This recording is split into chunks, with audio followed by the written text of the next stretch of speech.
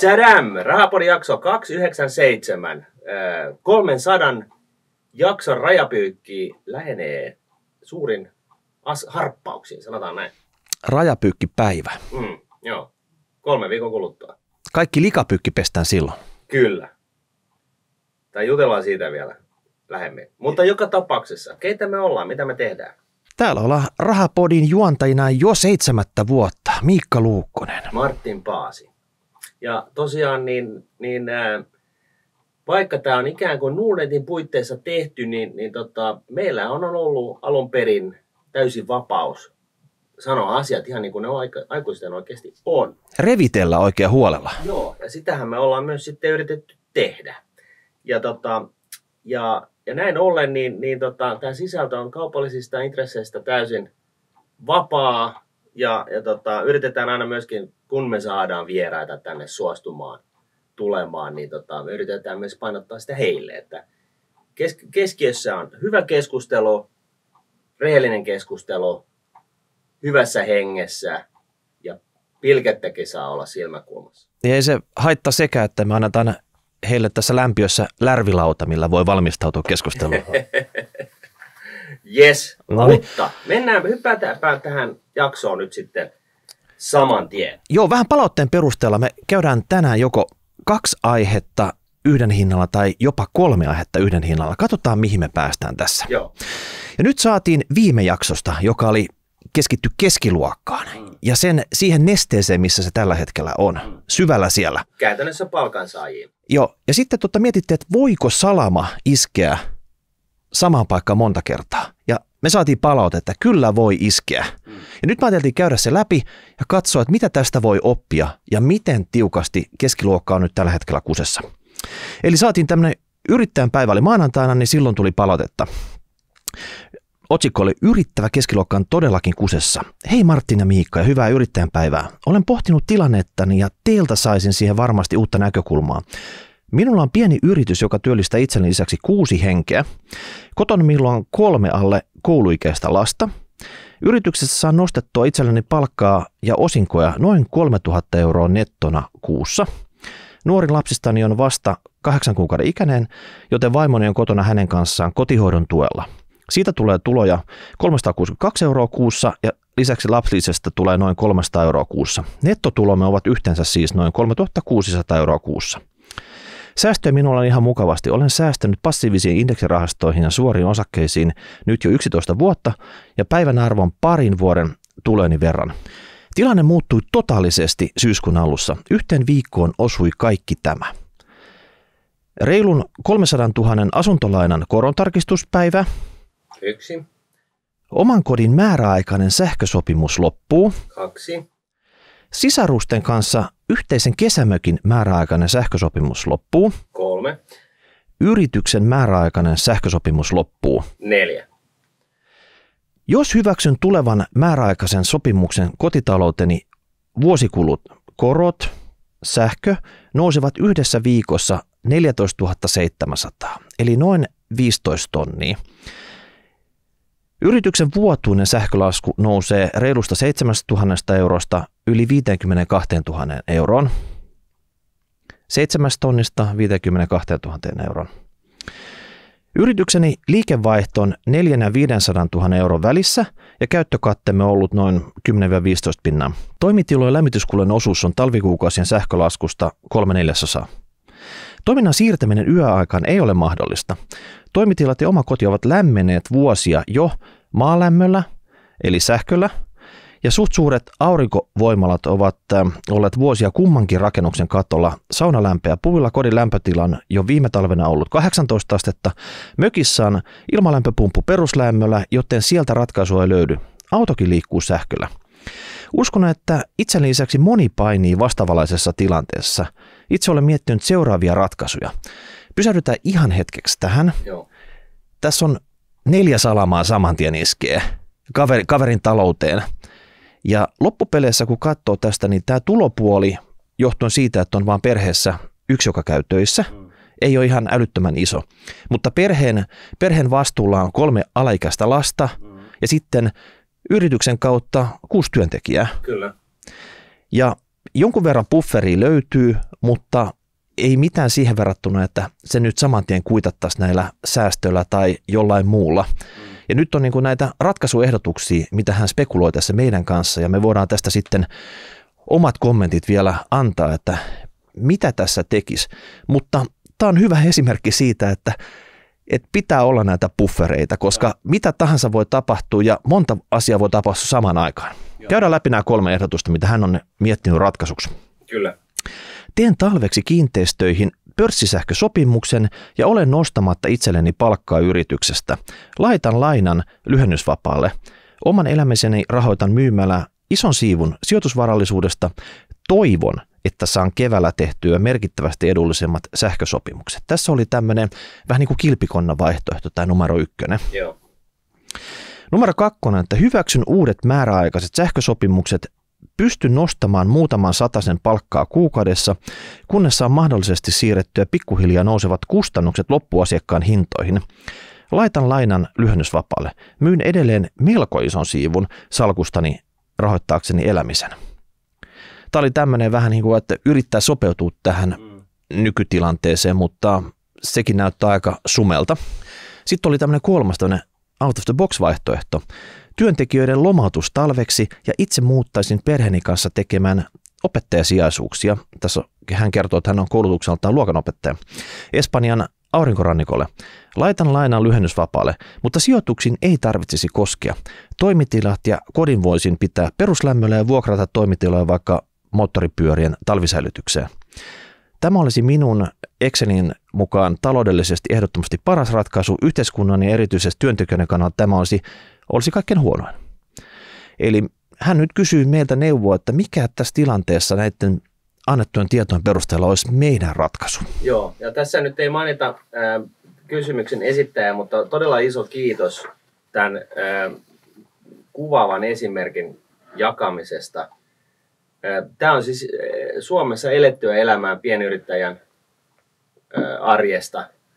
Ja tota, pakko tässä yhteydessä nyt tarkentaa sitä, että me ei saada antaa sijoitusneuvoja eikä, eikä niin kuin sellaisia tässä tulla antamaan, mutta toki me voidaan yleisellä tasolla asioista keskustella. Mutta että näistä vaihtoehdoista, jos joku pitäisi poimia, niin, niin tota, ensinnäkin näistä, mitä hän on itse kaavaillut tässä, niin mun mielestä tässä pitää niin kuin, ää, laittaa tietynlaisen tärkeysjärjestykseen, että kenen intressejä tässä ajetaan. Että onko se, niin kuin, se oma, ää, tota noin niin, ää, omat lapset ja niin kuin jälkipolvi ylipäätänsä, onko se Suomen yhteiskunta, yhteiskunnan kestävyys ja, ja, tota, ja vai onko se työntekijät vai, vai mitkä. Ja, ja tota noin, niin, eihän tässä ole kuin huonoja vaihtoehtoja, ihan miten päin tahansa käännät tätä asiaa. Mutta jos, jos niin tällä tavalla niin lähdetään purkaa sitä asiaa, niin jos sä maksimoit sun jälkikasvun tulevaisuuden näkymiä, niin se tarkoittaa tietenkin sitä, että sä yrität niin öö, säästää sitä kertynyttä niin sijoitusvarallisuutta mahdollisimman paljon. Ja, ja, tota, ja, ja sitten tota, teet sellaisia liikkeitä, että ylipäätänsä niin, niin, niin tota, tulevista kassaverosta ei, ei niin kuin haihdu ö, enempää kuin ehdottomasti on, on niin kuin välttämätöntä. Ja, ja näin ollen niin, niin perheen kannalta niin toi kolmonenhan on, tämä viimeinen vaihtoehto on selkeästikin ää, perheen kannalta paras. Eli lähtee aurinkorannikolle. Kyllä, jos perhe siihen taipuu. Että lapsethan tosiaan on, on tässä alle kouluikäisiä. Ja, ja niin noin sopivan ikäisiä tähän operaatioon, kyllä joo. Vuoden, vuoden seikkailuun, jonka varmaan muistaa niin kuin vielä aikuisiässäkin. Ja, ja, tota, ja tässä nyt totta kai oletuksena se, että se yrityksen sulkeminen ei niin kuin aiheuta uudelleen käynnistymisvaikeuksia, että asiakkaat kaikkoa ja, ja tota, työntekijät ei tule takaisin ja, ja tällaista. Että tämä nyt on tällainen hypoteettinen niin kuin esimerkki, mutta että totta kai tästä voi, hän voisi tehdä tällaisen vuoden, jossa mennään niin kuin vuodeksi seikkailulle ää, ja, ja tota, mennään aurinkorannalle ja, ja tota, tehdään tällainen juttu, jonka muutenkin voisi tehdä. Että jotkut purehduksesta kiinnostuneet hän niin kuin joskus tekee niin, että ne lähtee perheen kanssa purehtimaan maailman ympäri jollain pienellä paatilla. Ja, ja tota, Et joskus on sitä pakko repästä. joskus on pakko repästä ja sitten kun lapset käy koulua, niin sitten se alkaa, jos silloin lähtee repäseen, niin sitten se alkaa jo vähän haittaa heidän, heidänkin sitten elämänkaaren alkua. Että tota, et, et nyt jos nyt tai ei koskaan. Itsellä ehkä tuli siihen mieleen, että tässä ei lähtötiedosta ihan tullut selväksi se, että olisiko mitään mahdollisuutta nyt kun inflaatio laukkaa kovana, kaikki korottaa hintoja, korottaa niitä hintoja. Sillähän se ratkeisi periaatteessa.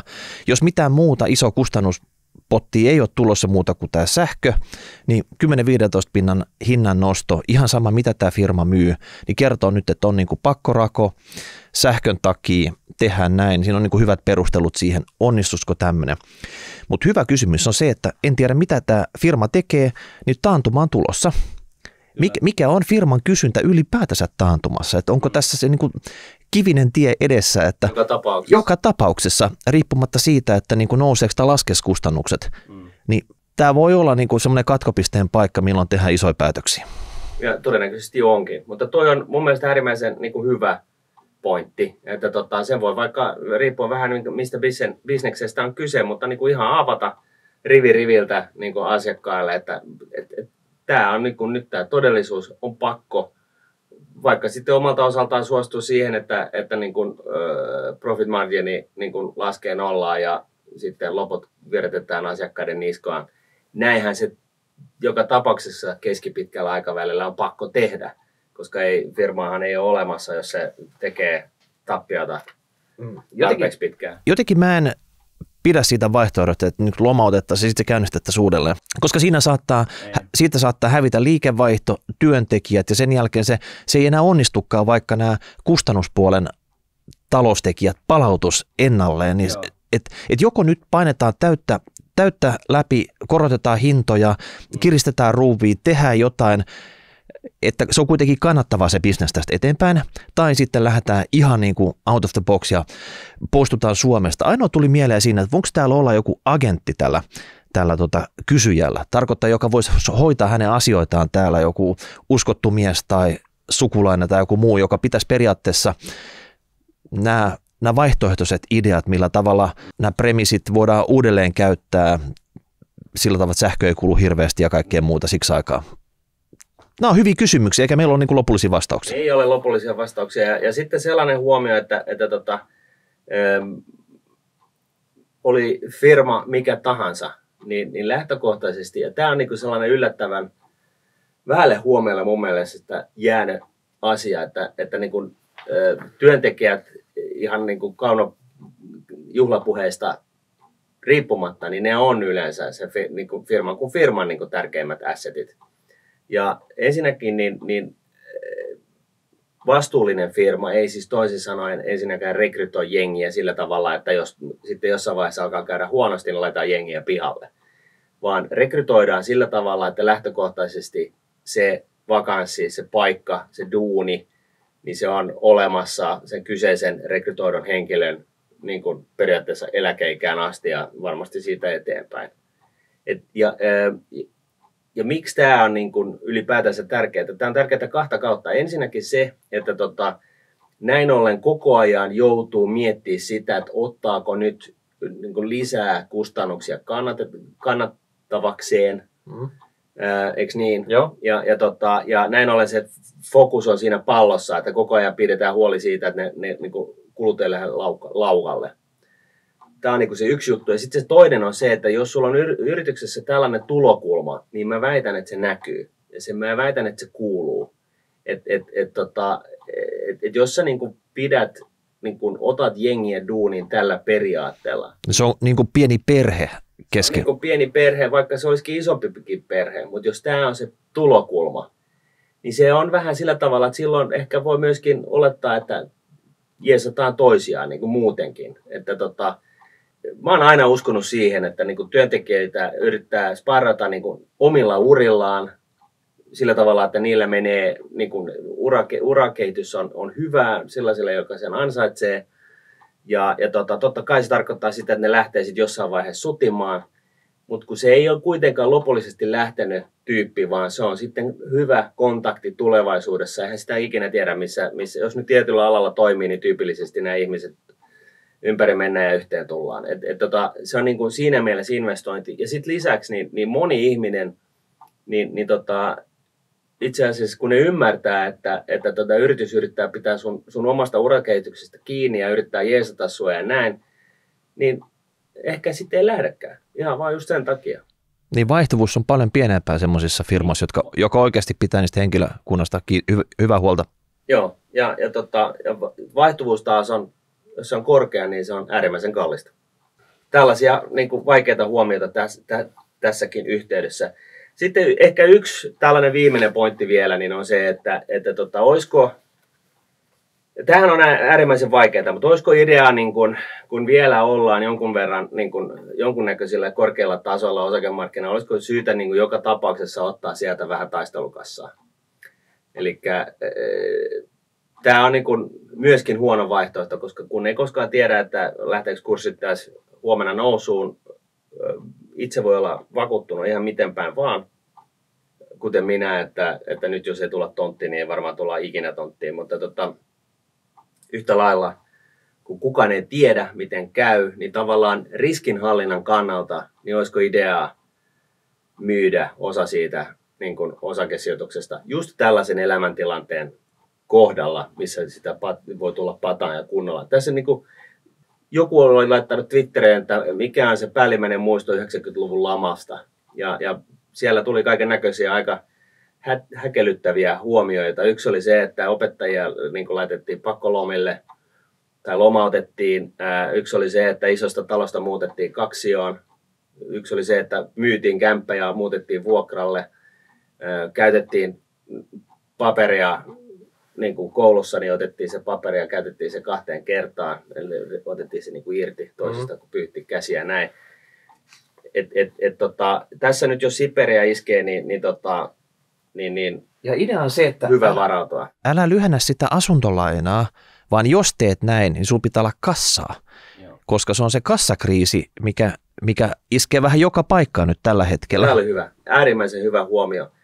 Eh, jos sä nyt lyhennät vähän sitä lainaa, ei sulla on edelleen, edelleen samat kustannukset kuukaudessa.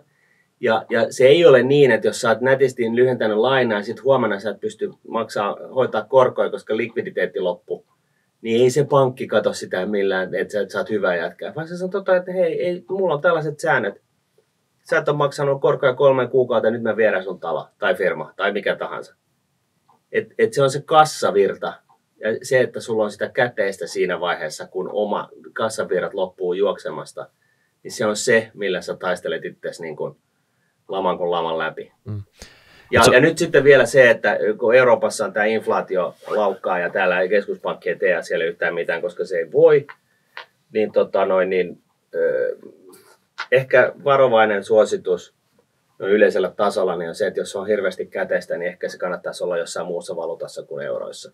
Melkein ihan minkä tahansa valuutta käy paremmin kuin euro. Mutta ehkä nyt se jenkkitaala nyt tässä yhteydessä sitten. Kyllä tämä on aikamoista spekulointia, mutta tässä nyt pitäisi varmaan käydä tätä shokkivaikutusta monelta kantilta läpi ja miettiä varmaan se perheen sisällä, että mikä olisi meille se pidemmällä ajalla se fiksuin ratkaisu.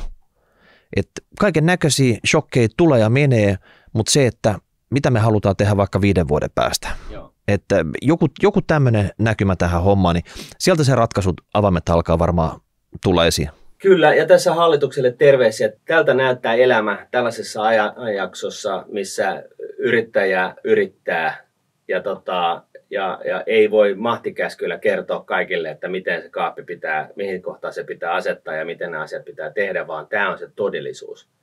Eli tämä on taistelua ihmisillä nyt. Ja mun mielestä tästä kävi ilmi, että ei ollut mikään tämmöinen yrittäjä, joka tekee öky tulosta, vaan ihan tämmöistä maltillista tulosta, niin kuin tuloan, tuloan elättää itsensä ja, per, ja tota, vähän niin kuin palkansaaja siinä, että, mutta riskit on vaan paljon isommat yrittäjälle ja, ja tota, sen takia tämä shokki iskee hänen paljon pahemmin kuin normaali palkansaaja. Juuri näin. Hänellä ei ole työntekijän työsuojaa, irtisanomissuojaa. Selvä. Mä luulen, että tämä oli tästä aiheesta Joo. kaikkia. Nyt siirrytään sitten seuraavaan. Juuri näin.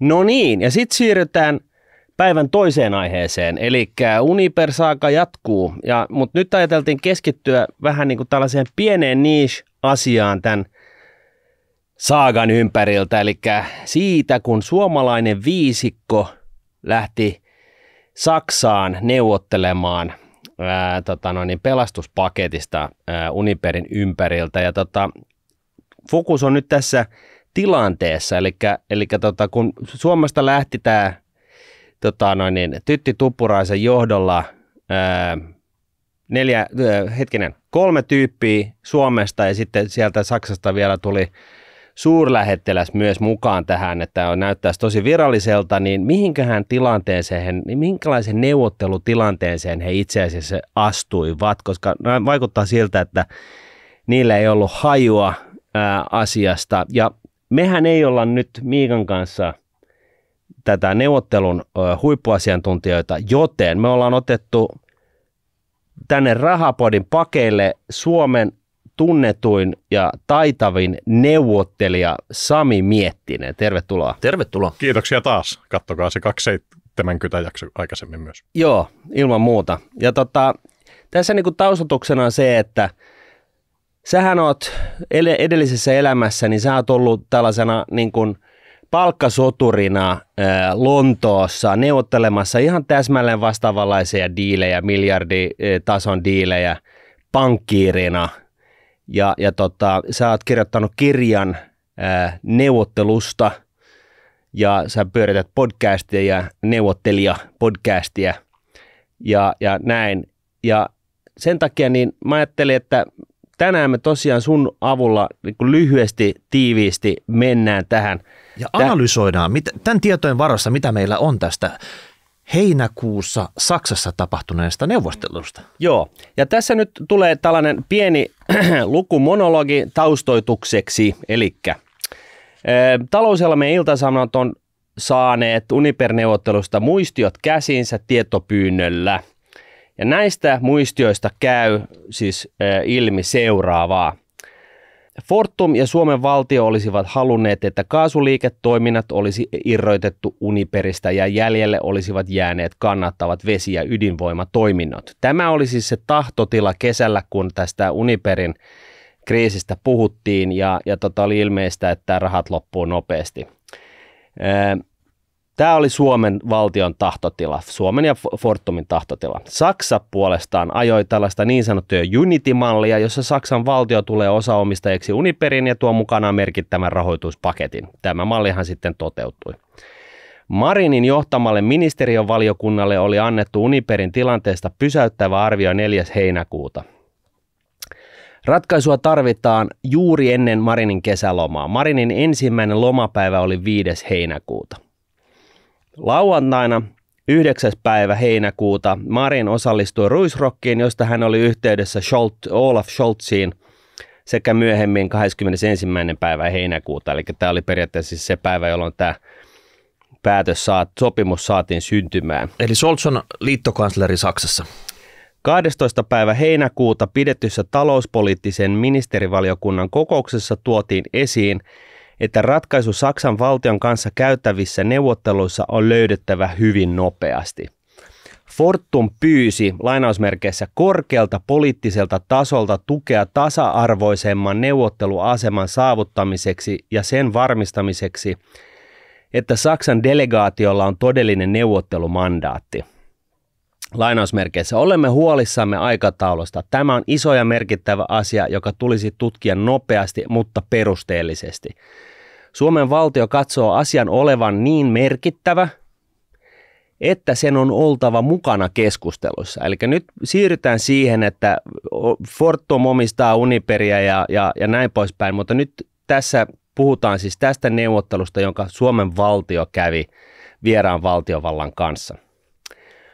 Tuppurainen kävi keskusteluja Uniperin tilanteesta Berliinissä 14. heinäkuuta. Mukana oli valtiosihteeri, omistajaohjausyksikön virkamies, erityisavustaja ja suurlähettiläs. Vastassa Tuppuraisella oli muun muun muassa Uniperin toimitusjohtaja Klaus-Dieter Maubach, sekä liittohallituksen eli Saksan pääneuvottelija, osastopäällikkö Philip Steinberger. Tästä kaverista niin, niin voi, voi kukin googlata, mutta siis hän on julkisen lakitieteen tohtori, MBA ja julkistanut, äh, julkaissut, äh, olisikohan ollut sata artikkelia aiheeseen liittyen. Yhte, yhteensä muistiossa mainitaan saksalaisten puolelta 17 henkilön nimet. Talouspoliittisen ministeriövaliokunnan muistioon kirjattiin 19. päivä heinäkuuta, että lainausmerkeissä tällä hetkellä osapuolella on liian iso näkemysero – 21. heinäkuuta päivätyssä muistiossa, eli tässä on ehtinyt viertää kaksi päivää. Korostettiin jälleen asian kiireellisyyttä ja ennakoitin, että maan hallituksen pitää osallistua neuvotteluihin. Suomen poliittinen johto hyväksyi ratkaisun 21. heinäkuuta pääministeri Sanna Marinin johdolla käydyssä sähköpostikokouksessa. Saksan Olaf Scholz keskeytti lomansa kertoakseen Uniper-pelastuspaketin sisällöstä perjantaina 22. päivä heinäkuuta. Osana saksalaista Unitin ratkaisua Saksan valtio hankki Uniperistä 30 prosentin osuuden 267 miljoonalla eurolla ja Fortumin omistusosuus Uniperistä laimeni 80 prosentista 56 prosenttiin. Saksan valtio osti osakkeita äh, hintaan, äh, pilkkahintaan, sillä Fortum on maksanut Uniper-osuudesta noin 7 miljardia euroa. Ja tosiaan Suomen tahtotila tässä, äh, Fortumin ja Suomen valtion tahtotila oli, että kaasuliiketoiminnat olisi irroitettu Uniperista ja jäljelle olisivat jääneet kannattavat ja kestävät vesi- ja ydinvoimatoiminnot. Tässä niin kun lyhykäisyydessään tämä neuvottelu, neuvottelun aikajana.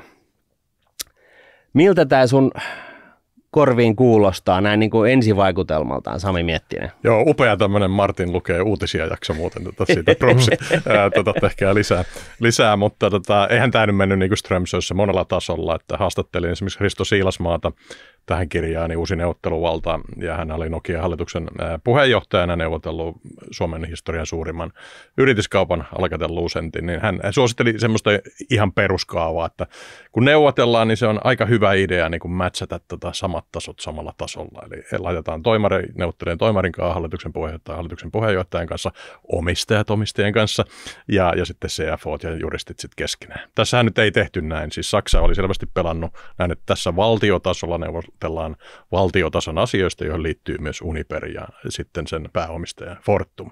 Ja hallitus ei ymmärtänyt, että tässä on tämmöinen tilanne, vaan lähetetään niin kuin B-rinki ilman sitä suomalaista Mr. Wolfia ää, tuota, sitten neuvottelemaan. Ja siinä kävi just niin kuin tuosta pystyy tuosta kööristä katsoa, että siinä kävi.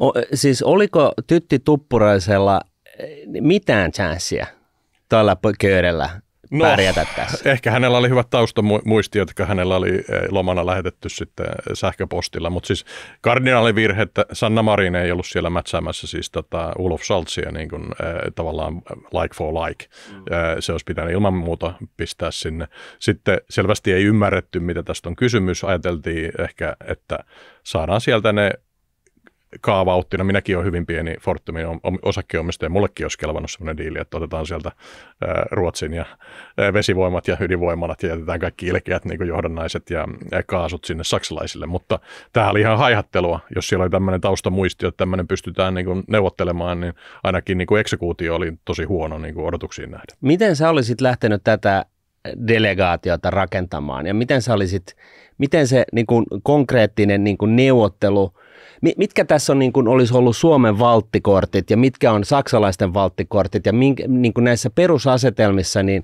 kumman olisi pitänyt mm. voittaa? No siis tässä Saksallahan oli eh, tämä Energiewenden yksi, yksi tuota, katastrofi oli luoda tämä massiivinen Nord Stream 2 ja 1 riippuvuus tuota Venäjään ja sen putken niin kuin katkeaminen oli, oli se, se Saksan heikkous, jota Suomi olisi voinut hyödyntää. Että se nyt oli aika todennäköistä jopa, niin kuin, jopa jälkiviisaana, että kyllä se niin kuin putki niin kuin lähtee nikotteleen tai, tai menee jopa poikki, niin kuin tässä on käynyt.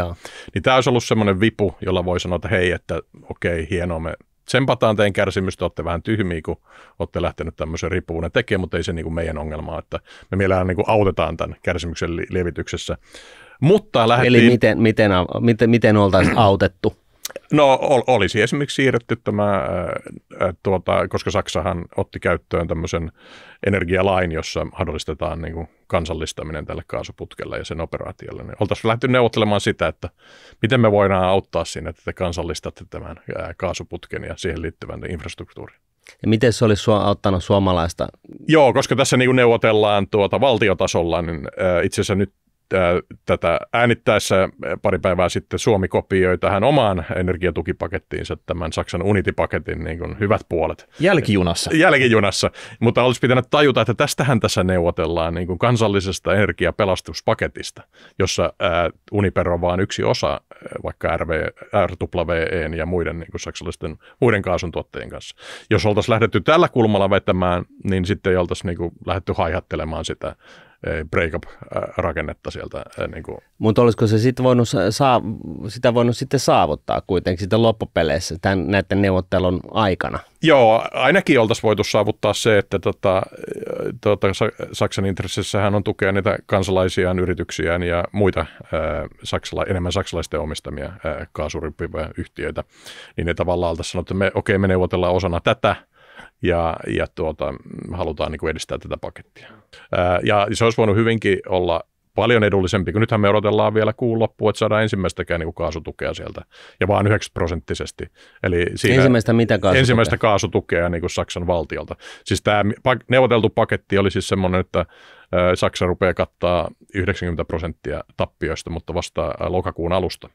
Ja tässähän tämä Uniper tekee niin kuin kymmeniä, eli peräti 100 miljoonaa tappioa päivässä niin tavallaan, ja ne kaikki tappiot tuhoaa Uniperin osakkeenomistajan arvoja ja sen lisäksi tätä 8 miljardin mm. tammikuun paketin arvoa, mikä Fortum heitti sinne aikaisemmin. Eli tässä olisi pitänyt aloittaa niin kuin ihan toisesta päästä, mm. niin kuin huomioida, että tässä kaksi äh, niin kuin suverenia valtiota taistelee siitä oman alueensa niin kuin energian – saannista. Mm. Tämä on se iso pihvi. Joo. Ja tässä on nyt niin kuin periaatteessa äh, tässä neuvottelussa tai tässä, tässä niin kuin neuvottelupöydässä on tämä intressi, tavallaan se elefantti siinä niin kuin Joo. pöydällä. Ja toinen iso elefantti on tietysti tämä tuota, Venäjän kaasu tuota, taso, eli siis onko se nolla vai sata, mm. äärimmäisen iso juttu. Varmaan ehkä haihateltiin vielä, että Nustrin kappukoneenkin tulee siihen päälle. Eli mm. tota, Uniper on tehnyt paljon typeriä asioita, mutta yksi on se, että tavallaan on luotettu siihen, että sieltä tulee kasvavasti kaasua TKP-tyyppisellä ratkaisulla.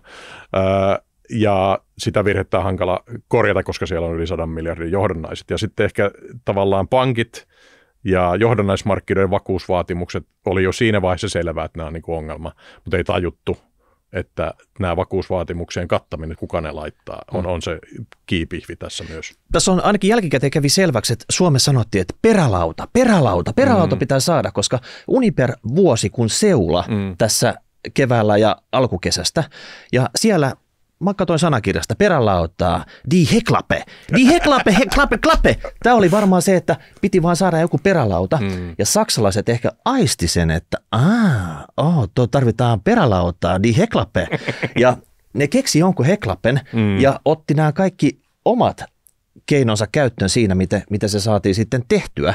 Et periaatteessa annettiin nyt semmoinen, että, että Fortum ja Suomen valtio oli varmaan peloissaan, että poliittisesti tänne ei voida laittaa enää lisää rahaa. Mm. Ihan sama, mitä tälle tapahtuu, kun saadaan jonkunnäköinen näennäinen perälauta tähän. Ja niin meidän tarvi... oli vähän liian alhaalla. Joo. Mm. Näin se on ja sitten äh, tietysti sinänsä näyttää nyt äärimmäisen todennäköiseltä, että se on vaan musta aukko, joka imee kaikki miljardit, mitkä sinne laitetaan se Uniper. Kyllä. Eli, eli siis tämä perälautahan on niin hyvä idea, mutta tavallaan itse olisin lähtenyt puolustamaan sitä, siis se 7 miljardia, jotka osakkeesti pistettiin, niin se on niin kuin gone. Mm. Että se, se on niin kuin voi Niin se, siis se, mitä, Joo, sitä, millä on ostettu se 80 niin, prosenttia lähdettiin puolustamaan sitä, eli sitä osakkeenomistajan arvoa, itse olisin lähtenyt sitä 8 miljardin arvoa, mitä laitettiin tammikuussa, niin puolustaa, että se sieltä äkkiä pois. Että tota. Niin pitää ymmärtää, mikä on uponnut kustannus. Joo. Kyllä. Joo, ja, ja sitten tota, tietysti nyt voi katsoa, niin kuin sanoin, niin tässä energiapaketissa 10 miljardia kopioitiin se, että pitää saada prosenttiomistusta ilmaiseksi. Se oli vielä tylympi kuin tämä Saksan hallituksen 30 prosenttia 250 miljoonalla, vai mitä se oli. Että ei sen tässä saksalaiset pyytänyt ilmaiseksi sitä omistusta. Mua, mua askarruttaa tässä, että kovin juttu, mitä Suomen valtio olisi voinut tehdä, ne olisi mm. kertonut Saksalle, että, että tässä neuvottelussa tapahtuu jotain, tai seuraavana aamuna me failataan Uniper konkkaan. Mm. Eli, eli tota, tehdään konkurssihakemus siitä. Et meillä olisi ollut pokeritermejä jotain, millä bluffata, vaikka me oltaisiin sitä haluttu tehdäkään. Niin olisit sä lähtenyt itse tälle linjalle, että sulla olisi ollut tämä oli... konku- konkurssikortti tässä esillä, että saksalaiset mm. olisi tiennyt, että se olisi ollut helvetti irti niiden markkinoilla. Siis meillähän oli se kahdeksan miljardia niin kuin, niin kuin vierasta pääomaa Joo. siellä jolla olisi saanut aika ison steekin varmaan tota noin, niin, velkojien mm. pöydässä. Mm. Me oltaisiin voitu hakea ne vesivoimalat ja ydinvoimalat pois sillä ja meidän... Mä meinasin sanoa just samaa, että, että, tota, että miksi ei menty, siis Uniper on, Uniperin liiketoiminta on huomattavasti tärkeämpää Saksalle kuin Suomelle. Mehän voitaisiin oltu vaan sanoa, että hitto soiko, että laitetaan liinat kiinni. Mm. Et, tai mm. sitten te saatte pitää sen koko Uniperin, paitsi että me otetaan sieltä ne vesi- ja ydinvoimalat pois. Mm, tai edes se kahdeksan miljardia. niin, tai edes se kahdeksan miljardia. Joo. Et Joo. Nythän, nythän tämä perälauta on niin kuin reunoistaan tiivis, mutta siinä perälaudassa on sellaisen niin kuin pienen lapsen pään mm. mentävä aukko. Singon, kokoinen, Singon ammuksen kokoinen aukko siinä, mikä niin. vuotaa nyt tällä hetkellä. Eli eikö tämä olisi niin kuin sen lisäksi, että kun sä nostit tuossa aikaisemmin esille – että tässä neuvoteltiin kahden suverenin valtion energiansaannista, niin periaatteessa just sen takia, niin tässä olisi pitänyt pelata kovalla kortilla ja sanoa, että me vedetään Uniper niin kuin kelin alta. Mm. Joo, toi olisi ollut todennäköisesti ihan hyvä riski ottaa. Ainahan siis noin voi tulla, siis joudut, aina kun teet uhkauksen, niin sun on pitää olla valmis toteuttamaan se. Eli tätä, ää, kummisedässä tuolta, kun ää, tämä kummisena ää, tuota, veljen poika niin tuota, ei suostunut tekemään joku raviratadiiliä, niin seuraavana päivänä hänen paras ravurinsa pää löytyi sitten tuota, hänen sängystään. Eli tuota, tässä tilanteessa sitten Suomen olisi pitänyt olla valmis vetämään se uniparkonkka. No oliko Suomi valmis sun no, mielestä? ei ollut. Eli tässä oli, tässä oli niin kuin sen sijaan, että oltaisiin perutettu vähän, mm. muutama askel, nähty se iso kuva – ja käytetty sitä ison kuvan ymmärrystä niin kuin tavallaan tällaisena vipuvartena siitä, että saadaan niin kuin sitä, mitä itse haluaa. Niin tässä tuijotettiin niin kuin pientä yksityiskohtaa, joka oli se, että me ei niin kuin poliittisesti voida laittaa enempää rahaa tähän. Näin meidän täytyy saada joku uskottava perälauta, jolla me voidaan mennä sitten mediaan kertomaan, että enää, enää ei laiteta Fortumin perään mitään rahoja.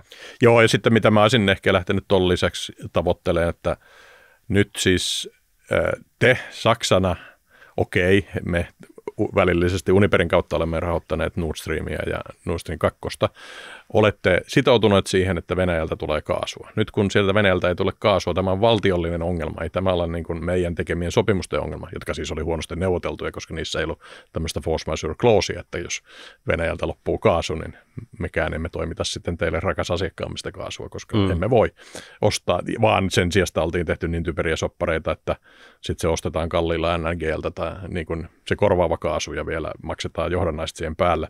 Niin, niin olisi pitänyt sanoa, että tämä nyt pitää ainakin vapauttaa, että te Saksana sanotte, että tämä on niin kuin meidän ja Putinin neuvottelu, että me otetaan Putinilta ne jos kaasu etuu, niin me otetaan ne TKP-miljardit sieltä ja maksamme sen Uniperille. Ää, mutta tätä olisi voinut sanoa, että tota, tämä pitää vähintäänkin saada niin kuin teidän asiaksi. Te julistatte force majeurin, kaikki nämä kontraktit ovat niin kuin invalideja, koska niin kuin Putin petti teidät ja tämä on teidän asia. Tätä mm. mä olisin lähtenyt vetämään. Mutta sekä ei tapahtunut. Mm. Minkä takia? No totta kai se olisi Saksasti, Saksalle sisäpoliittisesti se olisi ollut katastrofi. Mm. Siellä olisi pompannut saman tien kaasuhinnat tappiin niin. kuluttajilla ja yrityksillä ja olisi tullut niin sanotusti helvetti irti, että antaa mieluummin se Uniperi maksaa kaikki. No, näin on siis ulkomaalainen omistaja, tämä Saksalle Mr. Wolf siellä varmaan myhäili, että nämä idiotit maksaa meidän kansalaisten niin kuin, sähkölaskut, vaikka mm. tässä olisi voinut tämmöinenkin ratkaisu. Niin, niin totta kai me, he ottivat sen niin kuin ilomielin ja ei tarvi muuten aloittaa kuin vasta lokakuussa, jolloin sinne on jo. Eli, eli tässä tehtiin niin kuin tavallaan, siis lyhyenä kanettina, niin tässä tehtiin tavallaan se moka, että, että ei perutettu, ei nähty iso kuvaa, ei käytetty, mm. huomattu, että meillä on äärimmäisen äärimmäinen vipuvarsi, jolla me voidaan niin kuin, no, niin kuin muuttaa se neuvottelun aihe jostain niin kuin detaljiasiasta niin kuin isommaksi asiaksi, jonka kautta me saadaan vipuvarta siihen, että me neuvottelun lop, lopuksi päästään sellaiseen lop, ratkaisuun, jo, jossa se mitä me halutaan näyttää on hyväksyttävissä vastapuolelle. Mm. Eikö Kyllä. näin? Joo. Ja, ja, tota, ja jos siellä oli, nyt oli 17 henkeä niin kuin Saksan delegaatiossa tota noin, niin susilauma, Saksan, Saksan koiran susilauma, niin, niin tota, minkälaisella poppolla sä olisit tota, tuonne lähtenyt? No se Marin nyt ainakin sieltä, ettei nyt mennä bailaamaan ja vaan lähdetään oikeasti lentämään sinne. Niin kuin, tuota, Okei, tässä täytyy Scholzia korjata tapaamaan. se, että se niin. Olaf Scholz äh, peru lomansa kolme Niin. päivää sen jälkeen, kun hän oli jäänyt lomalle kertoakseen tämän lopputuloksen. Okei. Tässä on mediassa ollut ö, vähän niin kuin löyhästi ker- väitetty, että Olaf Scholz olisi jotenkin aktiivisesti osallistunut. Siis, mm, Ollaan myös väitetty, että Sanna Marin olisi aktiivisesti tekstaillut Mm. tai jotain, tuota, joka on aika epäselvää, että mitä tämä kommunikaatio nyt on ollut Okei. hänen ja Scholzin välillä. M- Mulla, mulla on pari kysymystä tästä neuvotteluasetelmasta sulle. Että on kerrottu, että Suomesta lähti pieni delegaatio, Saksassa oli iso delegaatio. Minkä takia se delegaatio, okei, sitä puhuttiin, että olisi ollut, pitänyt olla suurin piirtein yhteisö. Minkä takia se delegaatio lähti Saksaan turistireissulle? Miksi ei kerrottu, että tulkaa te tänne Suomeen? Mm. Me osataan kyllä failaa se Uniper Konkkaan tässä ihan pari päivän sisällä. Että jos teillä on jotain neuvoteltavaa, niin tulkaa tänne Suomeen. Joo. Sitten kun se olisi tuotu tänne Suomeen, viety vaikka jonnekin tuonne pohjoiseen, missä olisi ollut pitkä matka, ne olisi tullut väsyneenä sinne. Mm. Sitten tuossa olisi ollut kabinetti, kabinettiin mahtuu kahdeksan tyyppiä sisään. Niin kuin suurin osa niistä olisi jäänyt sinne oven ulkopuolelle. Se olisi käyty pienellä porukalla. Ja sen jälkeen tässä oli vielä myös sanottu, että nämä käytiin mahdollisesti saksaksi nämä neuvottelut. Onko se, jos se pitää paikkansa, mä en ole ihan varma tästä, mutta oli puhetta. Jos ne on käyty saksaksi, niin onko se semmoisen kotikenttäedun antaminen saksalaisille, että se on ihan game over edes lähteä tämmöisiin neuvotteluihin? Joo, noin olisi voinut hyvin tehdä ja toi on ihan totta siis, että tota, kotikenttäetu on siinä neuvottelupaikassa, siis hyvä neuvottelija, hän jetlaginkin allakin tietysti tekee huipputulosta tuota, tiedostaen siis ne handicapit, mitä se tulee, mutta siis kyllä tässä on niinku tuppuraisen niinku typerää briljeerausta hänen niinku koulusaksallaan, että, tota, että minä nyt on niin hyvä maailman nainen, että minä juttelen niinku natiivikielellä. Eihän neuvottelussa kukaan niinku neuvottele tota, tuollain niinku natiivikielellä, vaan niinku englannilla kansainvälisissä neuvotteluissa. Että toikin kuulostaa niinku todella tyhmältä. Eli tota, eh, Suomen Lappiin, mistä saksalaiset joskus aikaisemminkin ajettiin pois, niin olisi ollut ehkä sellainen hyvä paikka, missä olisi niinku tällainen niinku setting, Niin, ympäristö, missä... Poltetun talon muistomerkille mennään hiljentymään niin. siinä.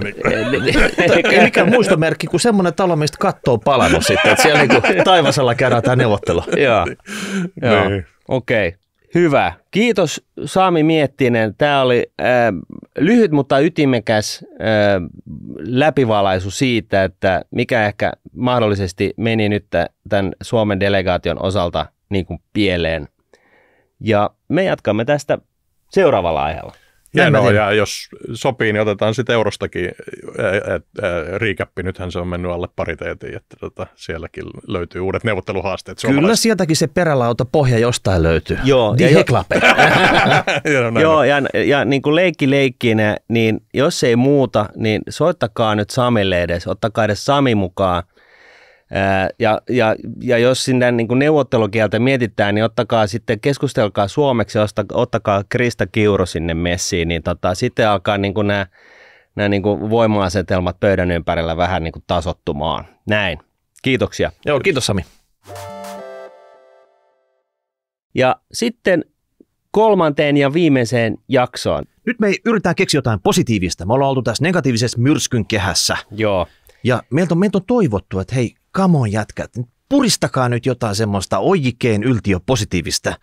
Niin, kun Vähän pari, niin kuin- pari vuotta tässä ollaan oltu vähän, huudeltu vähän, että, että Boogeyman tulee, niin, niin tota, tosiaan niin, no olihan meillä yksi jakso tässä pari jaksoa sitten, jossa me oltiin, yritettiin myöskin vähän jotain positiivista, mutta yritetään uudelleen, koska tota noin, niin täytyyhän tähän, tähän tota risukasaan jotain, jotain tota auringonpaistettakin saada.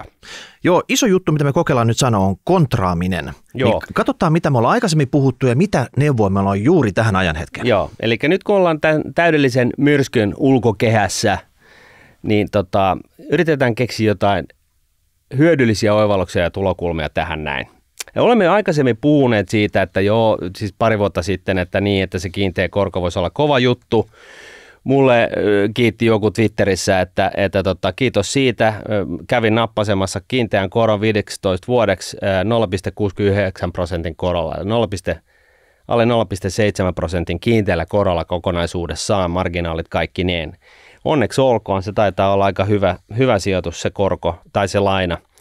Sitten ta- turhan tavaran myyminen, eli niin kuin tavallaan ö, hakee sitä niin kuin taistelukassaa ja, ja, tota, ja näin. Ja, ja mähän nyt sitten tulen tässä yhteydessä ulos kaapista. Mä oon vaihtanut veneen kaksi kertaa pienemmäksi tämän kahden vuoden aikana. Öö, vaihdettiin iso auto myöskin pienemmäksi autoksi. Ja tota, sitten mä myin mun, mun tota noin, niin Prolexinkin pois, öö, kun se oli tuottanut, ostanut sen joskus 2010 ja mä sain sieltä tuplahinnan käytettynä lommoisena ja näin poispäin.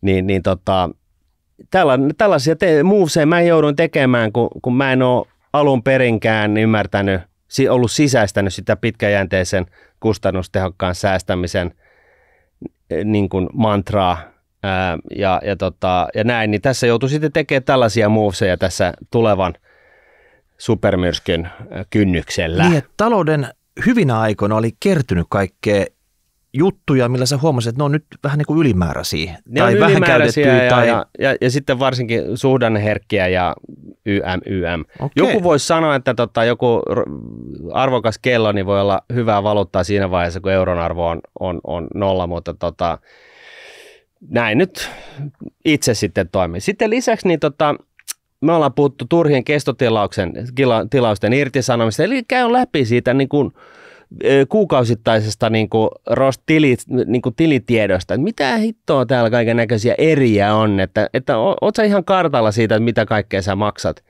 On HBO, on lehtitilauksia, suoratoistotilauksia ynnä muita. Sieltä voi helposti löytää se satanen, jopa satanen Kuussa. Mm. kuussa niin kuin, ö, vähempää kulua. Eli toisin sanoen lainausmerkeissä ylimääräistä taistelurahaa. Öö, ja sitten totta kai me puhuttiin jossain jaksossa vaihtoehtoisista tavoista järjestää niin kuin, ö, sähkön, sähkön saantia, aurinkokennoja ynnä muita ö, tiivistämisellä, energiankulutuksen vähentämisellä. Ja, ja sitten oli myös sellainen juttu, että, että tota, hakee tällaisen asuntolainan lupauksen pankista tuossa kesälomien kynnyksellä ja sitten lykkää, lykkää tota noin, niin sen varsinaisen ostopäätöksen niin, kuin niin pitkälle kuin voi. Onko se nyt sitten korkeintaan kuusi kuukautta tai jotain, mutta että joka tapauksessa, että tässä kun nyt mahdollisesti eletään just tällaisen, tällaisen niin kuin, ää, isojen tapahtumien kynnyksellä, niin, niin tota, näin. Ee, aikaisemmin historiassa on vaikuttanut siltä, että se pörssiromahdus kun tulee isosti, niin siinä sitten saattaa kestää vielä, mennään niin kuin reaalitaloudessa niin kuin ikään kuin liikevoiman voimalla eteenpäin vielä vuosi tai kaksi ennen kuin koko niin kuin reaalitalouskin dyykkaa. Ja, ää, ja, ja, tota noin, niin, ja näin ollen niin se voi olla, että, että asuntojen hinnat ei tule nyt ihan heti alas, vaan ne tulee vasta vuoden kuluttua tai näin. Niin miten esimerkiksi tapahtuu 87 versus 89? Joo, niin just näin. Ja, ja, tota, ja sitten jotkut sanoo tähän vielä, että et ehkä, ehkä tota, että, että tota, et, et, mitä te herrat nyt puhutte, että työttömyysaste on matalimmillaan ko- koskaan ja työllisyysaste korkeimmillaan, että missä, missä, missä kriisi. Ää, Philips Käppörästä viisastuneena niin, niin voidaan sanoa, että tämä on tyypillistä niin kuin korkean inflaation aikakautta, eli silloin tyypillisesti kun inflaatio on korkea tai työllisyysaste on korkealla ja inflaatio on sen seurausta korkealla, niin, niin nämä käy ikään kuin käsi kädessä, mutta tota, vena sekunti, niin, niin tämä kehitys sitten kääntyy päälailleen. Mutta nyt mennään sitten, olisi tarkoitus mennä nopeasti vielä pidemmälle. Eli puhun vaan niin tällaisesta vastavirtaan menemisestä. Niin, tämä on mentaalinen harjoitus siihen, että onko tämä sinun juttu. Eli kun puhutaan paljon, että kaikki ostaa nyt kämpä tai kaikki ostaa nyt osakkeita, niin mitä tarkoittaa, että kaikki? Kun se markkinoilla molemmissa, hmm. molemmissa näissä instrumenteissa, osakkeissa joku myy, joku ostaa, se on justansa se sama lukumäärä, millä sitä käydään kauppaa. Niitä ostajia tai myyjiä lukumääräisesti voi olla eri määrää, että voi olla yksi ostaja tai iso myyjä ja sitten siellä toisella puolella on paljon pieniä. Mm. Ja sama niissä kämpissäkin.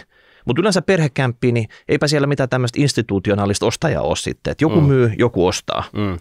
Mutta yleensä se lauma on niin kuin menossa vähän samaan suuntaan. Et sen lisäksi, että joku ostaa, niin miljoona muuta harkitsee tekemään niin kuin samansuuntaista juttua. Mm. Mutta kontraaja on siellä toisella puolella. Mm. Et silloin kun taloudessa menee hemmetin hyvin, hän on se, joka myy. Mm. Ja silloin kun taloudessa menee hemmetin huonosti ja kaikki suunnittelee myyntiä tai on pakkoraossa myynteihin, niin hän harkitsee ostoa. Ja ehkä varsinkin painottuen tähän jälkimmäiseen, eli silloin kun menee hyvin, niin, niin, niin, niin antaa mennä vaan, trend is my friend. Mutta se selkeän kohta on silloin, kun menee tosi huonosti. Ja se ongelma siinä, kun asiat menee tosi huonosti, niin on se, että harvoilla niin kuin ainakaan niin kuin palkansaajalla on silloin niin kuin mahdollisuuksia tehdä yhtään mitään moveseja. Et, et se on niinku tyypillisesti vaan ne, joilla on niinku oikeasti tarpeeksi ylimääräistä pätäkkää, joka pystyy sitten ostamaan niinku puoleen hintaan tai alempaan hintaan osakkeita, asuntoa ja mitä ikinä. Ja, ja, tota, ja tällä tavalla pystyy hyödyntämään sen ilmiselvän kraaterin niin kuin tavallaan markkinatilanteen ja, ja hyötyä siitä. Ja- Kyllä siinä on myös sitä riskin ottamisesta, että silloin kun talouslehdet kirkuu konkursseja, YT-neuvotteluita, että kaikki näyttää menevän ihan päin persettä, Mm, niin se on myös semmoinen psykologinen hetki, että nyt ei ole hetki itse toimia. Mm. Että se, se joukko, joka tekee näitä vaikka ostoksia semmoisessa, kuka niinku edes valmis kontraamaan, Mm. niin se on pienempi. niin se on pienempi ja se, eh, niin kuin sä sanoit, se on niin kuin yleensä se porukka, jolla on sitä riskinkantokapasiteettia siinäkin montussa. Ja, ja, ja näin ollen niin, niin, niin voi edelleen tehdä riskisijoituksia tai ottaa riskejä, koska vaikka nekin riskit toteutus siellä montussa, niin siltikään näiden henkilöiden tai tahojen ää, niin kuin elämät ei mene pirstaleiksi. Mm. Katsotaan muutama tipsi, mitä tämmöinen kontraaja voisi tehdä. Että jos sä haluat Martti vaikka aloittaa. No, mikäli on esimerkiksi, jos sulla on sijoituskämppä ja sulla on sitten lisäksi niin kuin oma omistuskämppä, jos sulla on siis tämä näin, näin onnellinen asema, joka on nyt siis eittämättä, tämä on niin kuin harvoja herkkua, mutta tota, joka tapauksessa, niin yksi ajatus voi olla se, että ennen, nyt, ennen, ennen kuin tämä asuntomarkkina niin kuin kyykkää ihan täysin, räjähtää silmille, johtuen siitä, että lainakorot nousee ja niin kuin arjesta lähtee 30 prosenttia kaiken näköisiin inflatorisiin kuluihin, niin, niin tota, myy se kämppä.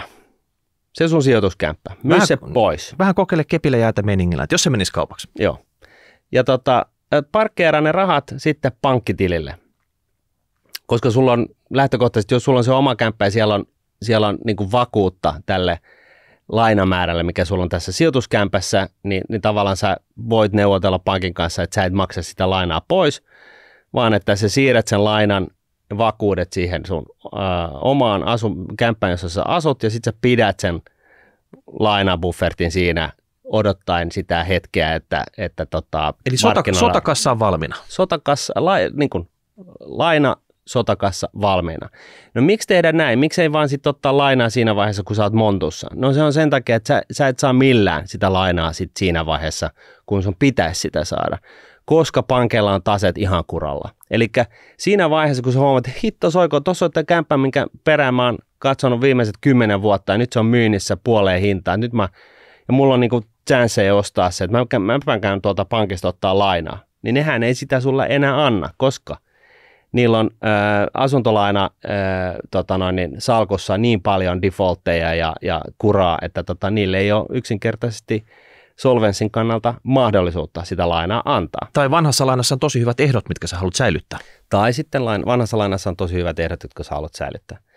Niin tällainen, ää, tällainen vaihtoehto, mutta, mutta tässä on niin hyvä huomata se, että jos inflaatio on jotain 9 prosenttia, niin kuin se on tällä hetkellä, niin se asuntomarkkinoiden 9 prosentin niin kauttaaltaan kyykkääminen, niin se on aika iso, iso pamahdus. Et, et sun, tämä inflaatio on äärimmäisen hankala. Et onko se sitten sitä, että sä siirrät sen koko rahan sitten jenkkidaalla tilille, me ollaan nyt jo pariteetissa, mutta minun mielestäni, ja tämä on mielipide, ää, tämä ei ole tietoa, niin euro ja ää, euron arvo, arvossa, niin, niin tota, sen pitelemisessä on, on, se on sen, sen arvon säilyminen on ihan toivon varassa, eli mä en, mä en, mä en hirveästi euro, euron arvoon uskoisi tällä hetkellä, varsinkaan niin kuin tällaisessa suhteellisessa, suhteellisessa vertauksessa USA-dollariin nähden, jossa on Jenkkilässä keskuspankki, joka tekee oikeita asioita,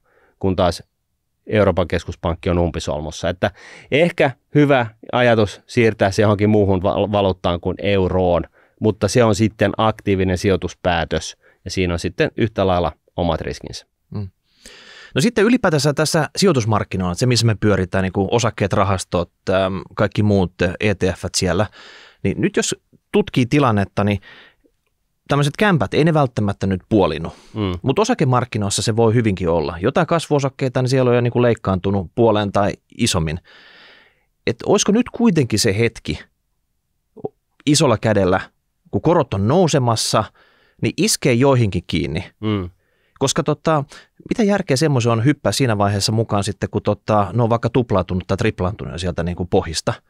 Että jos sä olet pitkässä juoksussa mukana, mm.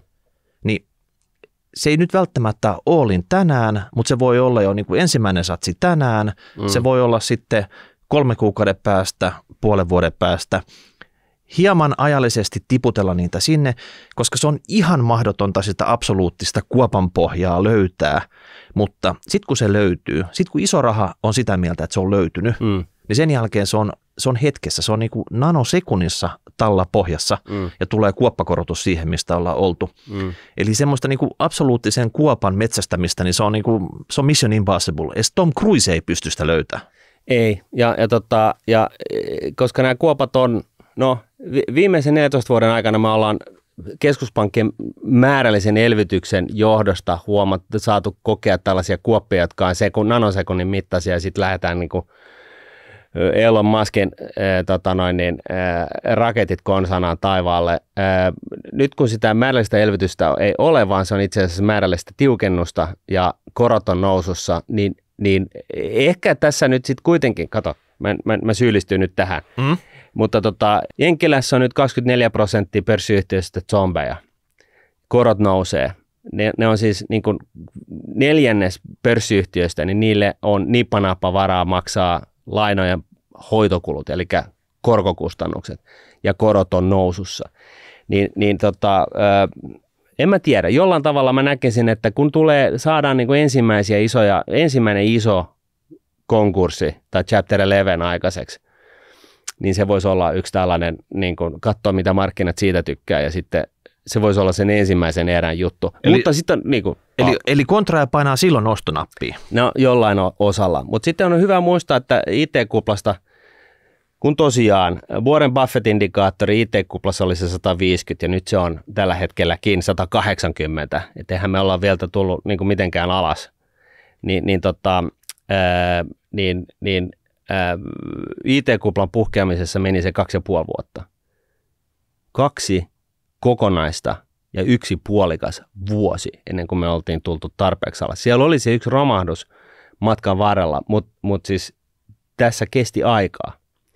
Ni, niin tota, ei, ei, tyypillisesti mun mutun, ja nyt mä alleviivaan sitä mutoa, niin, niin tota, näissä liikkeissä yleensä hosuu ää, ennemmin kuin on liian myöhässä. Se on totta, mutta kontraus on riskinottoa, joka onnistuessaan on erittäin tuottosaa. Kyllä. Et monet tulee mukaan siinä niin kuin nousun harjalla ja ihmettelee, että miten joku on voinut jotakin ostaa vaikka vitosella, kun se on nyt 15 tai 20. Tai 50. Niin, se osakkeen hinta. Hmm. Niin se tapahtuu just se, että, että kontra ottaa tietyn näköistä riskiä, joskus toimii, joskus ei, mutta se on, niin se kontra vaan toimii. Joo, ja, ja sen takia niin, niin mekin ollaan implisiittisesti myös sen takia me ollaan koko ajan puhuttu tästä, että nyt kannattaa hankkia niin kuin, niin kuin tällaista liikkumavaraa ensi talveen ja, ja, ja muutenkin. Eli siis eh, kun se monto tulee, niin se on, hei, se on hyvä asia monesta syystä. Ensinnäkin se on hyvä asia siinä, että jos on suhteellisesti omaan itseesi, joka ei ole varautunut. Jos sä siihen nähden olet varautuneena, sulla on enemmän liikkumavaraa, niin sä pystyt suhteellisesti hyödyntämään sitä monttua paremmin sillä tavalla, että sä pystyt niin kuin saamaan sen, painottaa niin kuin suurempia pitkän ää, säästön ää, hankintoja sellaiseen niin kuin kraaterin hetkellä, jolloin seuraavat kymmenen vuotta se, se keskimääräinen vuotuinen tuotto on jotain muuta kuin 7 prosenttia. Tämä on eittämättä ajoitusasia, mutta se, se, että koska se romahdus tulee, niin se on vaikea veikata, mutta kun sä tiedät, että pörssistä on lähtenyt kaksi kolmasosaa arvosta, niin sä voit olla kohtalaisen varma, että okei, se voi edelleen puolittua, mutta niin kuin suhteessa siihen, mitä se oli, niin nyt mä ostan jo aika kohtuu hinnalla asioita. Ja markkinathan siinä niin kuin dyykkauksessa, kun markkinasta lähtee ilmat pihalle, niin se aina ylireagoi myöskin. Eli se on, se on myös siihen suuntaan. Sitten toiseksi niin tällainen, tällainen puhdistus on niin kuin way overdue, eli siis niin kuin se olisi pitänyt tapahtua jo ajat sitten. Se on mahdollistanut poliittisen vastuuttomuuden Euroopassa. Ää, ei olla ajettu rakenteellisia uudistuksia läpi, ei olla tehty mitään niin kuin varsinaisia päätöksiä, on vaan sanottu, että keskuspankki hoitakaa, että tota, työntäkää lisää rahaa systeemiin ja bla bla bla. Ja tämä aikakausi tulee menemään historiaan ihmiskunnan suurimpana niin kuin kuplana, väitän näin, ää, joka puhkesi ja, ja, ja tota, meidän lapset ja lapsenlapset tulee ihmettelemään, mitä hittoa nämä pahvit oikein ajattelee, että no, korko oli nollassa, ei viittinyt ottaa kiinteäkorkoista asuntolainaa. Ee, osakekurssit oli vuoden Buffett-indikaattorilla huiteli 200 paremmalla puolella. Haloo, olisiko jossain pitänyt soida jotain kelloja? Inflaatio lähti rokkaamaan. Edelleen jengi vaan istuu siellä niin kuin sormin nenässä ja miettii, että voi voi, että tämähän on tosi ikävää siis inflaatio on lähestulkoon 10 prosenttia. Me ollaan viitattu aikaisemmin 70-lukuun sellaisena inflaation ja stagflaation aikakautena, on koko maailma ollut pysähtyy. Ja silloin se alku, a, a, a, sen 10 vuoden alkujaksolla oli 4,5 prosenttia. Se oli iso juttu. Ja sitten loppua kohti se oli vähän päälle 10 prosenttia. Nyt meillä on niin tällä hetkellä 9 prosenttia inflaatio ja kukaan ei ei ole ihan, ne vaikuttaisi olevan ihan hereillä. Että niin kuin valot on päällä, mutta kukaan ei ole ratin takana tai kukaan ei ole kotona. Että tota, et, et vähän siltä tuntuu. Saa nähdä, peseekö tämä tulppanikuplan. Sen meille historiankirja sitten joskus kertoo. Juuri näin. Mutta ehkä viimeisenä tipsinä vielä tästä muusta reaaliomaisuudesta, eli, eli osakkeiden lisäksi, eli, eli on kämpät, sijoituskämpät, että jos tämmöinen kontraaja meinaa sinne mennä sisään, hänen keinovalikoimassaan löytyy tämmöinen työkalu kuin räkäiset pidit. Eli Mitkä? Räkäiset bidit. Okei. Okay.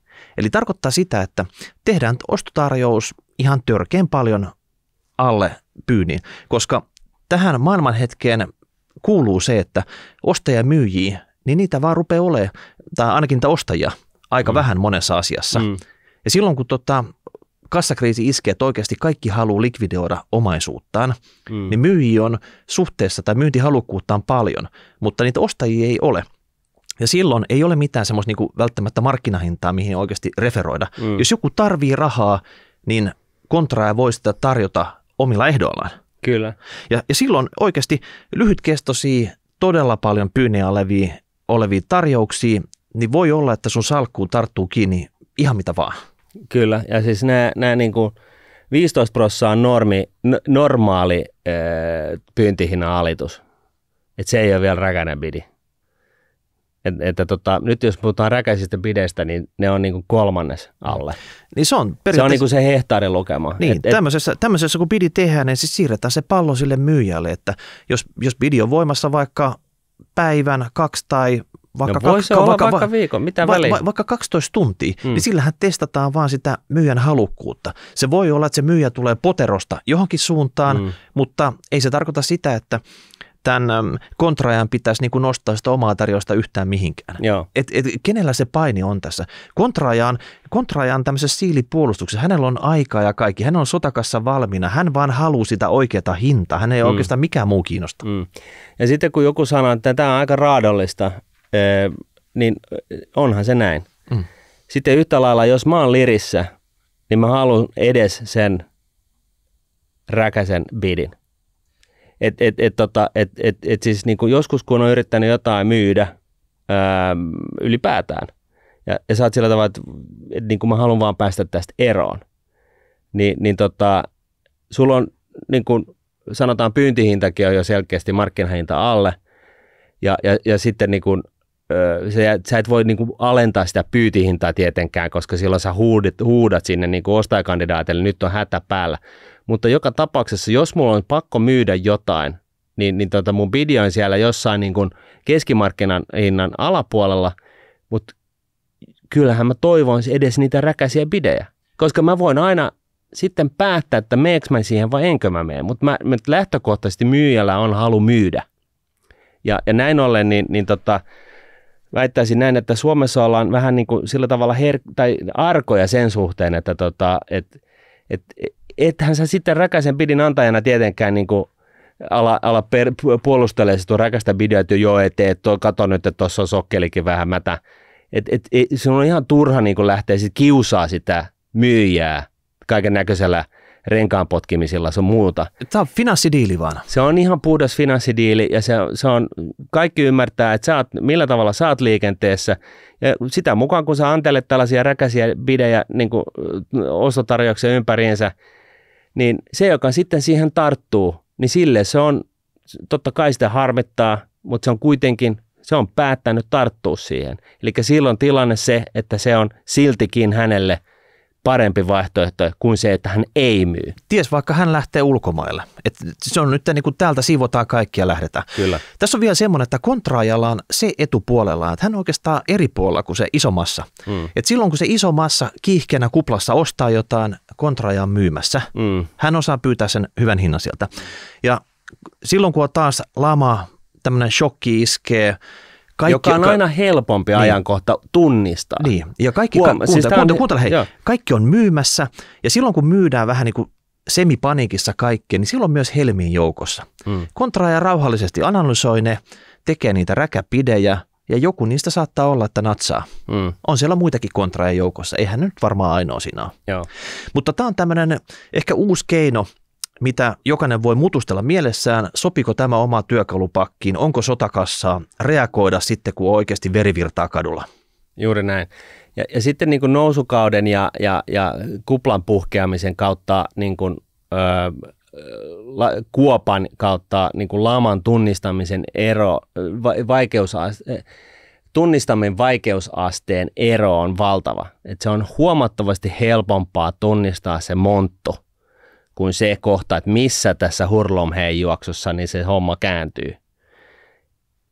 Tämä on tärkeää niin kuin pistää niin kuin korvien väliin sen takia, että, että tota, sitten kun se monttu on tossa noin ja meillä on kaksi kolmasosaa pörssiarvosta lähtenyt tuhkana tuuleen, niin, niin tota, kun sä ymmärrät tämän, niin, niin, niin, niin sulla, on, sulla on sitten, sulla pitää olla bolseja niin kuin tavallaan niin kuin tehdä asioita siinä vaiheessa – vaikka sua harmittaa. Yhtä lailla sun täytyy olla valmis siihen, että, että osakemarkkinat puolittuu senkin jälkeen.